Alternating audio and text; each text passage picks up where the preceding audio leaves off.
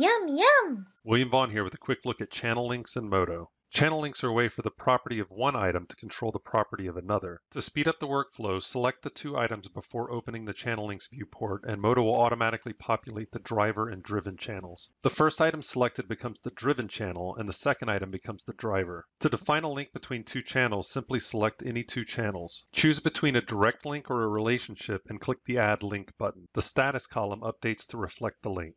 Now that the two items are linked, when the leg of this vehicle is rotated, the gear will rotate using the same values. For this rig, I'd like to make the gear use the exact opposite value, which is easy to do in the schematic view. Select both items in the item list, right-click on the Rotation X channel and choose Add Channel to Schematic. This will show a node-based version of what we set up in the Channel Links viewport. Add a basic math multiply channel modifier and drag the output of the leg rotation channel into the top input of the multiply node. Change the value B value to negative 1 and drag the output of the multiply modifier into the input of the gear's Rotation X channel. With this small change, the upper gear now rotates the opposite direction using the leg's rotational value.